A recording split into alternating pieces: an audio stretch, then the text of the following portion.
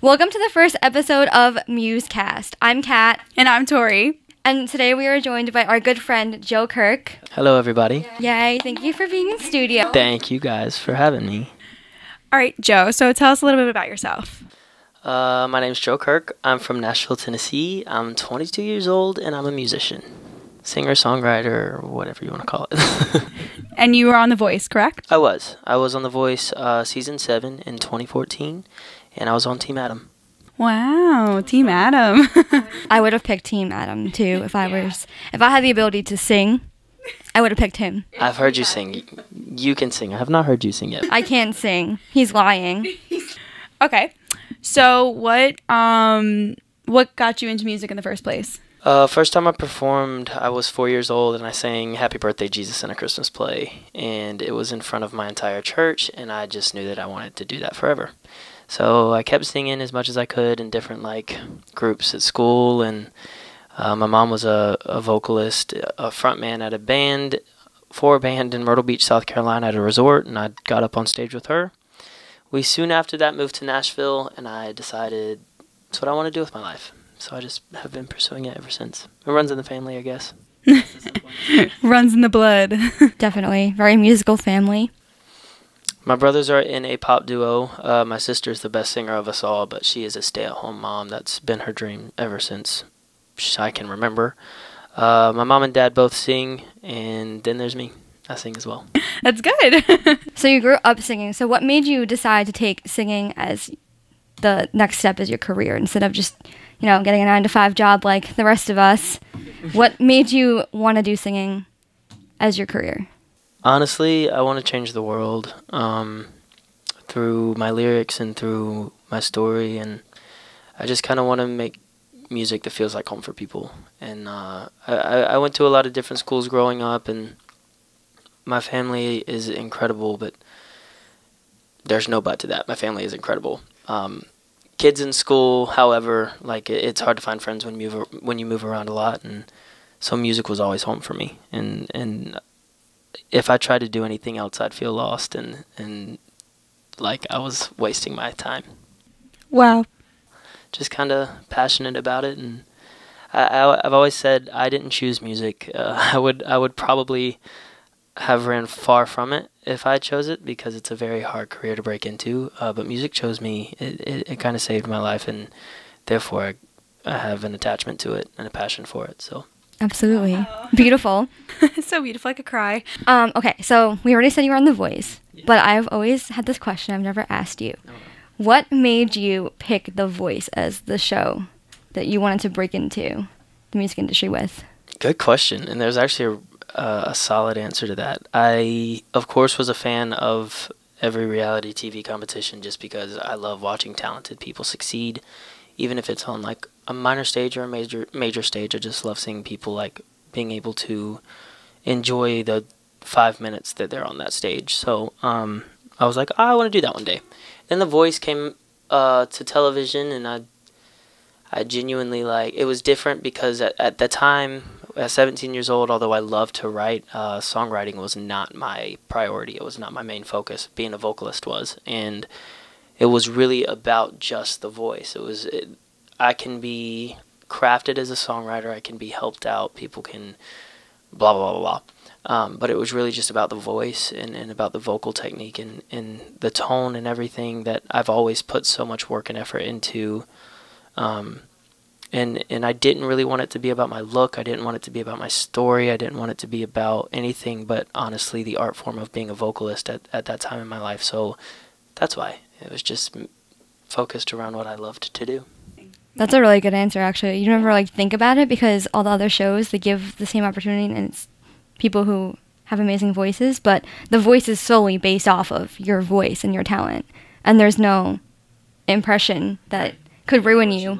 They don't know what you look like. They don't know how tall you are. They don't know sometimes if you're a girl or a boy honestly like some some voices are so unique and, and i think that it just gives every vocalist a fair shot no matter your age your ethnicity um, your genre. It's all about just vocal technique and and and talent and, and ability. And i feel like that is what sets the voice apart from every other competition is it's really focused around what really matters, and that's the hard work ethic that you put into becoming a vocalist and showcasing that for the world. Yeah, it's it's so true. And uh, he was a special case in The Voice too. You don't see a lot of four chair turnarounds. I was very, very, very blessed and super surprised. Um, honestly, I, I can't even explain the feeling that I I was feeling in that moment. That's insane. You always watch The Voice, and then when you see like you can see their faces as people are turning around or not turning around, and it's it you can tell it's making or breaking their performance or whatever. But when you see when I watched your your audition, like your face when they all were turning around, you were just like kept going, your family screaming, and You have to like keep your keep your cool. Composure, yeah, and it was really hard because like I've always looked up to Adam Levine as a vocalist. He's he's always been completely different and, and, and very unique and you hear one word and you know oh that's that's either Maroon 5 or Adam Levine whichever project he's working on because he's a genius and works twice as hard. Um, but also Gwen Stefani has one of the most beautiful smiles I've ever seen and at 17 I was like hi hello. Um, and also like Pharrell is is an incredible producer an incredible artist and then that was right around when Happy um, was released and and he he was just an icon. He still is. And, and then Blake, uh, of course, is from Nashville, which is where I'm from. And I don't know. He, I've I've always written, even even at that stage in my life when I wasn't like a writer. I didn't claim to be a songwriter. I've, I had always written songs with storylines or or uh, really meaningful lyrics, and and that's something that a lot of his songs showcase. So it was really hard for me to pick. But ever since the show started, um, Adam has always had a harsher critique in a in a in a more professional approach. Not that the others aren't professional, but when I look at Adam and, and when he turns his chair around, he truly believes that you have potential, and it's it's not ever just because or yeah maybe. It, it's always all right. You've got it. Let's let's work on that, and that's why I picked Adam. It's just because he's always about your growth and, and your experience as an artist being the best it can be. I'll shut up now. No, we're on a podcast. We're here to talk. We're here to talk. This is what we're here to do. Um, no, another thing I also noticed watching The Voice this season is he does not turn around easily at all. No. No, he literally wants a challenge and he wants to hear it. If he doesn't 100% fall in love with the voice, he does not turn around. Yeah, and that's why like I I if you watch don't go do this. If you watch my battle round at the end of my battle round, I got super super emotional and everybody's like, "Why did you cry?" Well, um plenty of reasons, but the number one reason was because at 17 years old, I had to go back to senior year in high school. Uh, I was really working for, I was really looking forward to working on my career full time and not having to do that. Um, but having to take a step back from the reality of every day pursuing music and every day growing as an artist, that was the hardest part for me. But I wasn't upset that I lost because Alessandra was amazing. She's still incredible. I still keep in touch with her. And, uh, just to be able to be on that team and, and to be on the show in general, it, it, it was enough validation for me to keep going and, and realize I can do it. Um, and I and here's a secret for your podcast. uh, I that was not the first time I auditioned for The Voice. I had auditioned once before when I was 15, and I did not make it. And I worked for two years and tried out again, and I was on the show. And from there I took a lot of step back I took a lot of steps back actually and I started writing and really focusing on that craft because I no longer just wanted to be a vocalist. I wanted to have something to say. Uh, I had some labels approach me and, and talk to me about singing their songs, singing their lyrics, crafting me, changing my haircut, changing my style, uh, changing my whole approach. And I'm like, here's the thing about art. If I don't see success while I'm on this earth, that's fine. But if my art ever sees success, if it's 500 years from now, it's going to be mine. I want I want it to be my my words. I want it to be my vulnerability. I want it to be my melodies. I want it to be me because that is that I'm every artist is the face, the name, the brand, the brain power behind their own art and there's a specific integrity that every artist holds for themselves and their art of I've got to do this so the world knows who I am. I'm not just this fabricated um, carbon copy of what the industry wants me to be. I am someone with my own words, my own my own story, my own challenges, and and uh, I just want to I, I want to make sure that I I stay true and I, and I set an example for every artist who's been told you won't make it as you are. Stay true to who you are because art is more important than any amount of money or any amount of success or selling out arenas because when it's your art and, and you get a DM or or a message or, or a comment that's like this song saved my life or this helped me through a hard time it's so much more important than it is to sell out the arenas. I really hope i'm blessed enough to sell out arenas but my number one focus is to be able to change somebody's life even if it's only one person.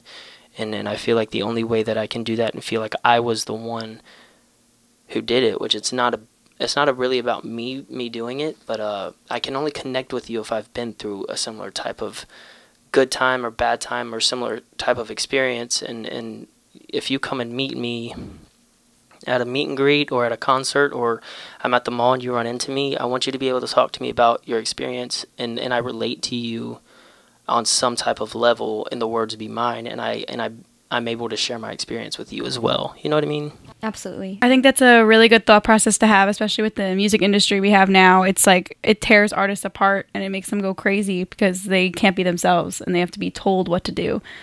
And I feel like um, I, I talk to Kat about this a lot. It, it's such a social media game and it plays a huge part, and I, I understandably so. But at some point, like you got to look yourself in the mirror and it's like, well, what's more important, being genuine or being number one?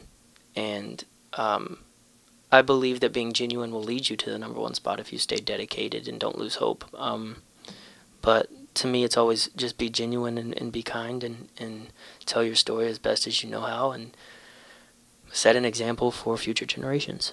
Absolutely. And I think it's really uh, important too because there are a lot of artists who are in your situation. They're independent and they want to make it, but they'd also do anything to get to the top, including not be true to themselves and not write their own music and wear what they're told to wear or sing what they're told to sing and just just to have the name out there and the success. And I think that's something that's super unique and special about you is that you're not willing to sacrifice who you are just to see fame and success because it's not about that to you. I, I would love to sell out arenas, and, and there's some things I'll bend and break on. Like any career that you have, um, you're scheduling or you're going to have a dress code.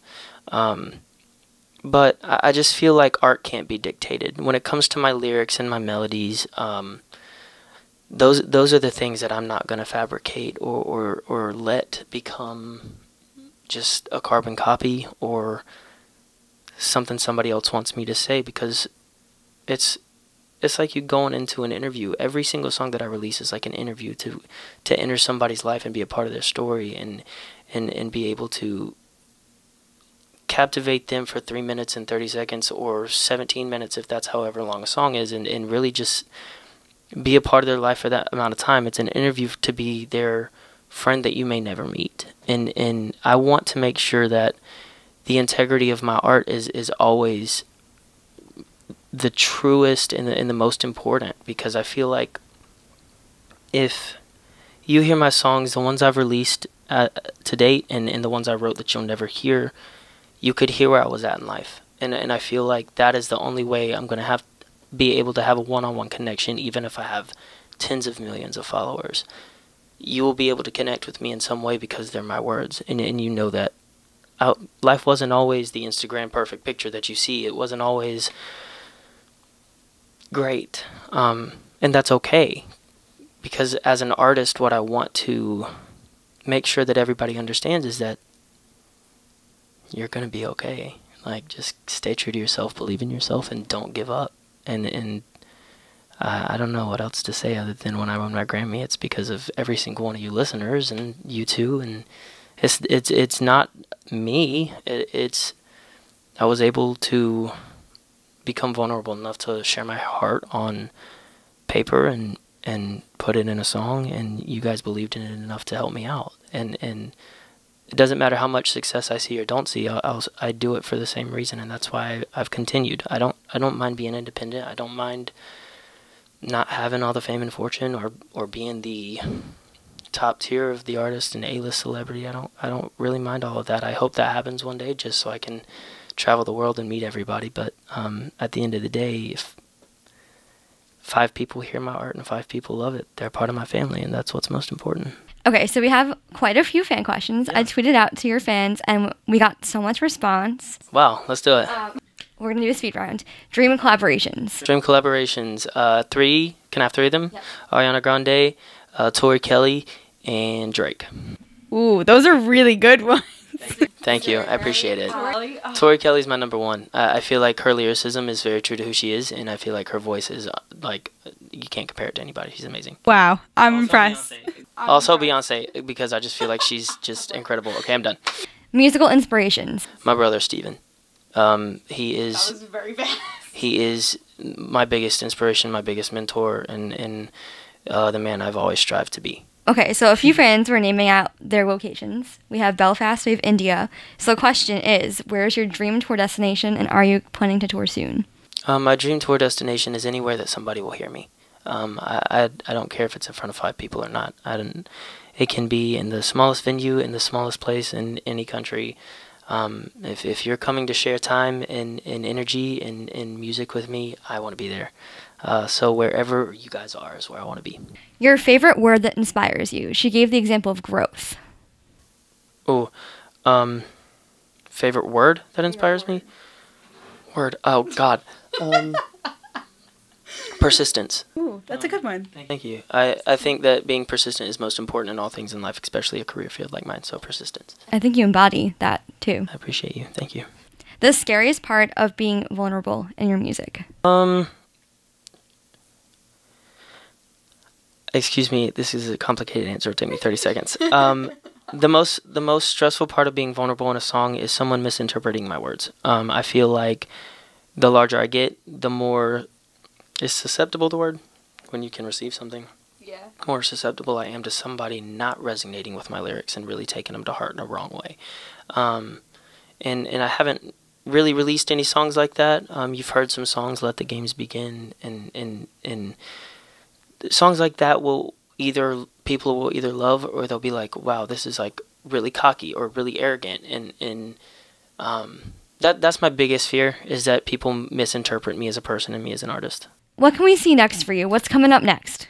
All right, I have a lot of plans, but um, I'm. Uh, it takes time to get all of them in in to work. So what what we can expect next is I have a single coming out um, April 26th. It is m- unlike anything I've ever done.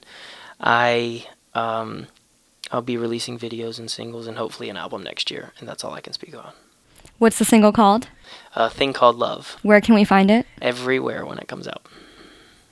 everywhere you want. You can follow me on Instagram, Twitter at Joe Kirk Music, and uh, keep up with my journey and become part of the family. Well, we definitely will. Thank you so much for being on our show today. Yay! Thank you guys. Well, you know what? I'll be. I'll definitely be back. Thank you guys for tuning in.